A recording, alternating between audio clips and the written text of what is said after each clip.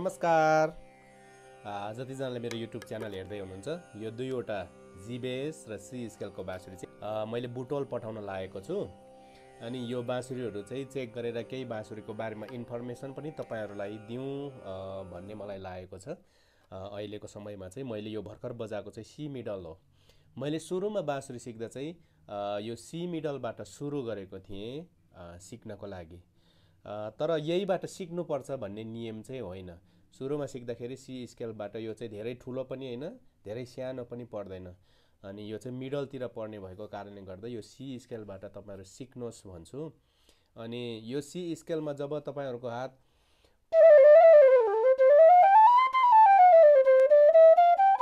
यो सारेगामा पदनी छ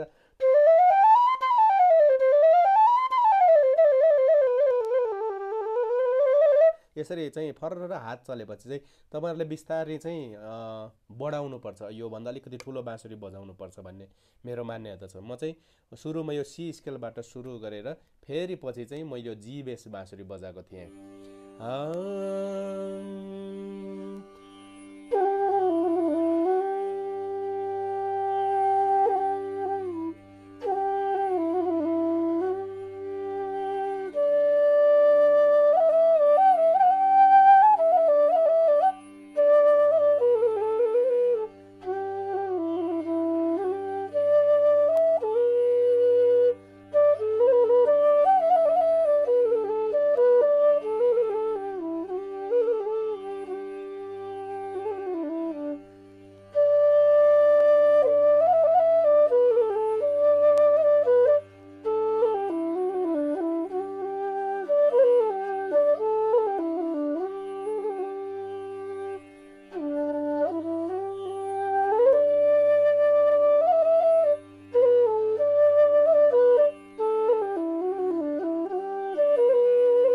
यसरी चाहिँ तपाईँहरूले बिस्तारै बढाउनुपर्छ यो।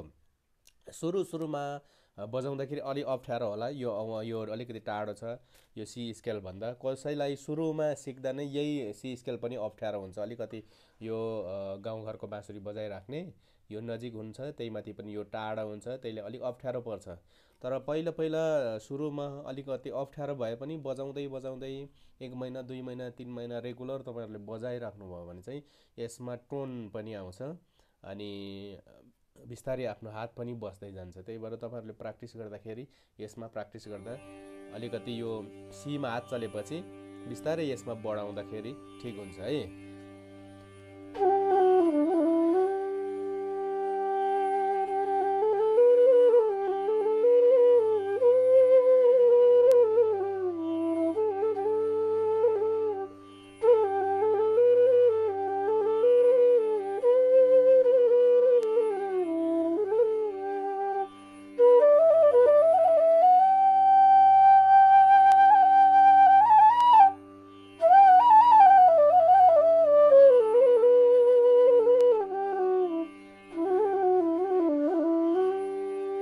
यो चाहिँ जी हो। अब तपाईँले यो सी स्केलबाट पनि जी बजाउन सक्नुहुन्छ। पलाई सामानेर अब यसको प।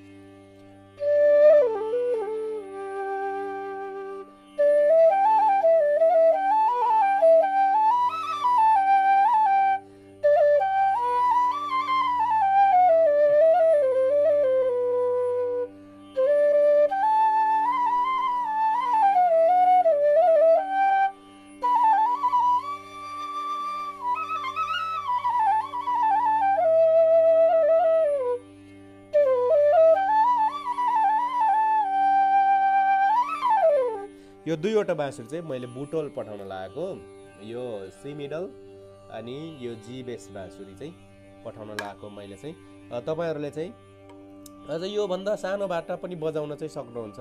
अब डिइएफ स्केल स्केलबाट तर तपाईँहरूले अलिकति तपाईँहरूले सिक्दाखेरि अलिकति अप्ठ्यारो भयो भने तपाईँहरूले सिक्नलाई अलिक सजिलो हुन्छ। तपाईँले सुरुमा समाउँदाखेरि नै सबै सजिलो भयो भने त तपाईँहरूले के सिक्नुहुन्छ? जे कुरा पनि सुरुमा गर्दा अलिक अप्ठ्यारो हुन्छ पछि बानी हुँदै गएपछि अप सजिलो हुँदै जान्छ। त्यही भएर यो जी बेस सी पछि तपाईँहरूले जी बेस बजाउनुहोस्। मैले चाहिँ जी बेस पछि ई बेस बजाएको थिएँ। ई बेस पछि अहिले चाहिँ डी बेस बजाउँछु म अहिले चाहिँ।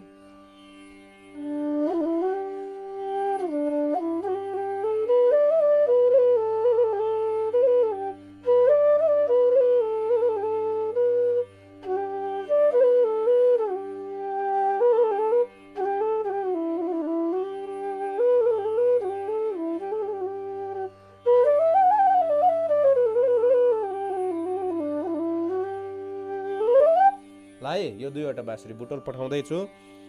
यसलाई चाहिँ अलिकति सुरक्षित प्याक गरेर यसरी यो प्लास्टिक भित्र हालेर यसलाई चाहिँ यस्तो यो हार्ड कभर हुन्छ यो उसको यो चाहिँ पेपरको अनि यसभित्र हालेर यसलाई सिल प्याक गरेर पठाएपछि चाहिँ राम्ररी सुरक्षितसँगले पुग्छ। तपाईँहरूले अरू बेला बजाउँदा निकालेर बजाउने अरू बेला यही भित्र राख्नु भए पनि हुन्छ। धेरै धेरै धन्यवाद यो मेरो भिडियो हेर्नेहरू जतिलाई। तपाईँहरूलाई पनि यस्तै बाँसुरी अर्डर गर्नु मन लागेको छ भने चाहिँ अन्ठानब्बे जिरो बत्तिस सत्तरी दुई सय सोह्रमा वाट्सएप अथवा भाइबरमा तपाईँहरूले सम्पर्क गरेर तपाईँहरूले चाहिँ यो यस्तो बाँसुरी अर्डर गर्न सक्नुहुन्छ है त। धन्यवाद।